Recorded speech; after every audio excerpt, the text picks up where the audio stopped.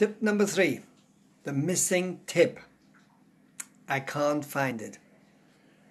Well, funny enough, tip number three actually was about when you come to a new company, it can be quite daunting, right?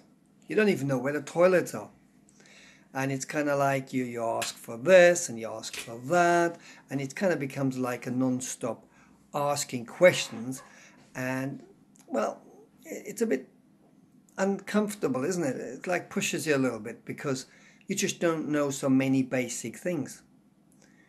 And um, one of the ways you can really help yourself or another staff member is by orientating them. Now, what do I mean with orientating? Well, you show them the place, you show them the different offices. Now, there's a little trick to that. One is that you you don't overwhelm them with lots of information. You don't go into, oh, and she got three kids, and then here's the paper, and there's the pink paper, and this one you don't open before five o'clock, and you don't open that after six o'clock. You know, don't shower them with lots of details.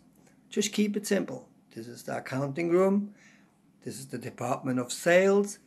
Over here is where you get, I don't know, you get your resources, your materials.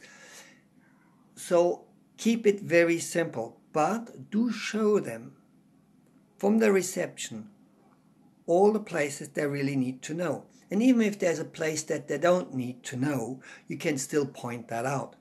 But always keep the information very sparse so they are not overwhelmed while yet having basic points.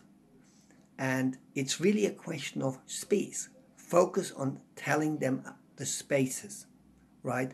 Not the details, what's in them spaces particular. Hope that helped and hope it makes your life easier because you can do it also yourself. Okay, here's to a new job.